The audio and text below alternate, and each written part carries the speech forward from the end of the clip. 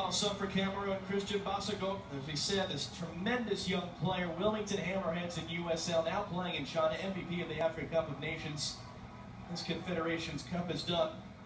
Oh, Toko Ekambi